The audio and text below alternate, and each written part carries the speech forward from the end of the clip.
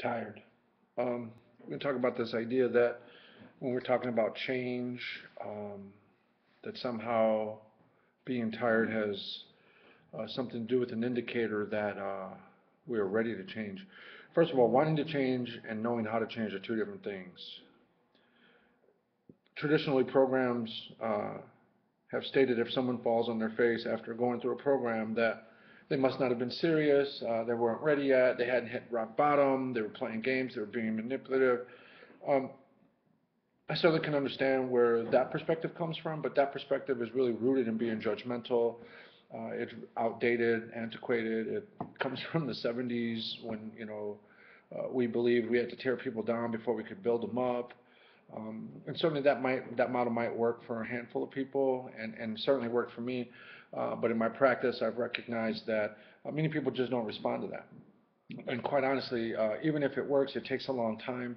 And I think there are ways to get to the heart of the matter when it comes to change and, and or recovery quicker than tearing people down and building them back up.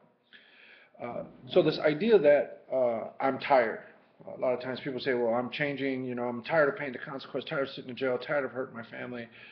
Um, you know, when we're tired, all we need is a, a, rest, and then we can get our second wind at some point. Uh, rarely has someone been tired and never gotten back up to do something they did before. Oftentimes they were doing things that uh, um, took a lot of energy, massive amounts of concentration and focus, um, whether it was good or bad, and eventually ran out of energy.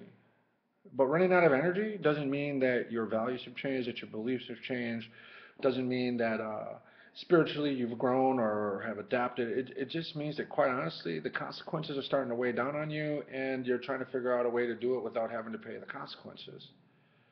Um, you know, if in a traditional anger management program, you know, you're taught to play the tape all the way out, consider the consequences, you know, as if somehow we we're so dumb when we're practicing criminality or addiction that we no longer understand the consequences.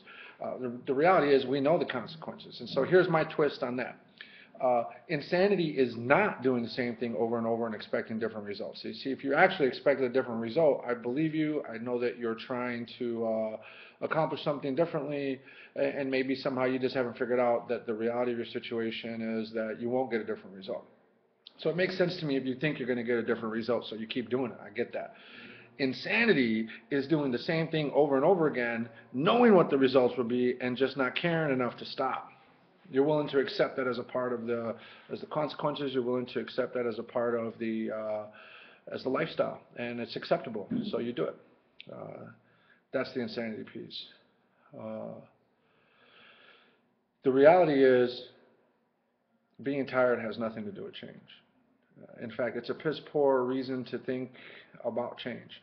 However, on the flip side of that, I want to work with you where you're at, and so I want to say this. If that's what it takes for you to get started uh, on the process of change, then knock yourself out. Do it. But recognize this. It's a short-term endeavor. It's like burning gas that's too hot. It's like a Roman candle. It's going to burn out fast, and pretty soon you might find yourself back, you know, at the drawing board trying to figure out, hey, what the heck just happened? Uh, why, why am I back in the same position after making an effort to make some changes in my life? Uh, so back to this anger management program, you recognize that, okay, they teach you to play the tape all the way out, consequences, think of who you're hurting, you know, don't want to go back to jail, don't want to get kicked out of the program, you know, blah, blah, blah.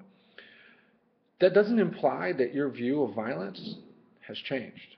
What it's meant is that we've educated you in such a way to consider how to delay being violent, not necessarily how to stop being violent, but how to delay being violent the, the premise is that if the reason you stopped from committing an act of violence because you were angry is because you didn't want to pay the consequence, it really implies that if the consequence didn't exist, you would commit, commit the act of violence. You follow me? You'd still do it if the price was right, or if the time was right, or if the environment was right. But since you've been taught to think about that, you've been taught to delay it.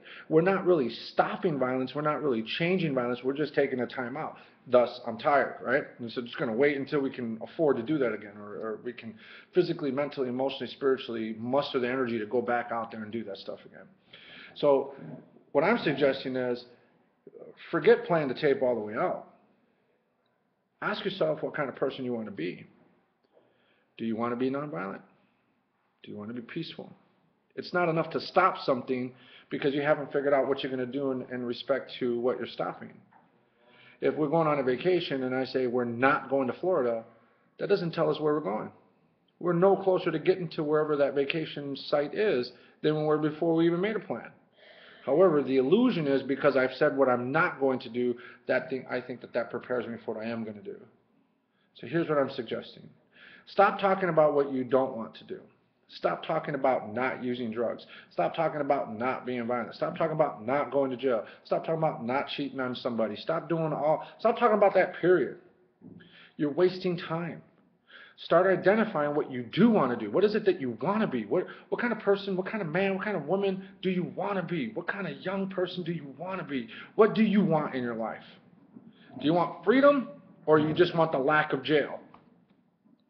Do you want happiness or do you just want the lack of sadness? Do you want strength or do you just want the lack of weakness? I mean, think about how we talk about ourselves when we're mad and we're huffing and puffing, right? We're out there trying to sell these wolf tickets, right? Uh, we're, we're not telling people how strong we are. We're telling people how weak we're not. I ain't no punk. I ain't no bitch. I ain't this. I ain't. We don't really promote what we are. We promote what we're not. As if we have to convince somebody other than convincing ourselves that this is not what I am. If I'm not concerned about being weak, why would I ever have to allude to not being weak? That would never even hit my consciousness. That would never hit my psyche. I would never, would never even come out of my mouth if I wasn't afraid about being weak. Today I talk about my strengths. I talk about my hopes. I talk about my visions. I talk about my dreams. I talk about my experiences. I talk about what I've learned. I talk about who I am, what I'm striving to be, not what I'm not. I don't worry about alcoholism. I don't worry about drug dependency, although I manage those things well. That's not what I spend my life talking about. I spend my life talking about what I am, what I'm becoming, what I'm striving for. Instead of walking into my future backwards because I'm always looking at the past, I choose to look forward and figure out what it is that I'm looking for out there, not behind me. Don't get me wrong. I'm certainly using my past to learn from and share the message of what, you know, where I've come from the majority of my time is spent in the here and now and in the future. I create my future by how well I manage the here and now. I recommend you do the same. Good luck.